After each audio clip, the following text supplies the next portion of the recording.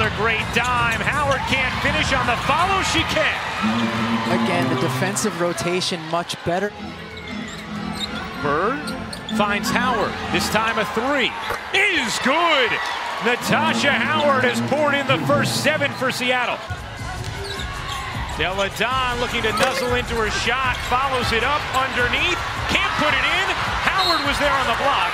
It'll stay with Washington. It's Canada.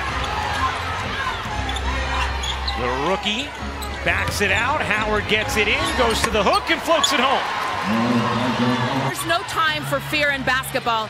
She doesn't remember what shot she just missed. She just knows the one she's going to take next. She's always been that kind of player as Howard hits the corner three off the no-look delivery from Bird. Home here in Seattle in her first year, increased minutes, increased production, increased range. And he said, look, it wasn't easy to give up the final bottle of Pop's wine, but that's how highly he thinks of Tebow. Howard hits, and the bigs for Seattle are stroking it tonight. Jack, you saw at the end of that play, Howard stepped off. She didn't want to foul. Howard into the center of the lane. Nice footwork. You know which way she wants to go as a defender. It's just not easy to stop it. Sue Bird drops a dime in the basket of Natasha Howard. The rebound. Washington shooting it at 36% as a team. Clark off the feed from Bird. Nice look inside, and Howard has another.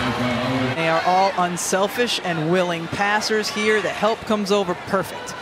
Natasha Howard cutting the baseline. Think about her and Atkins, both part of that rookie class for Washington. Howard swipes it and finishes it. Whitcomb in the corner, off on a three. Howard puts it in. Needs help, finds it in Stewart.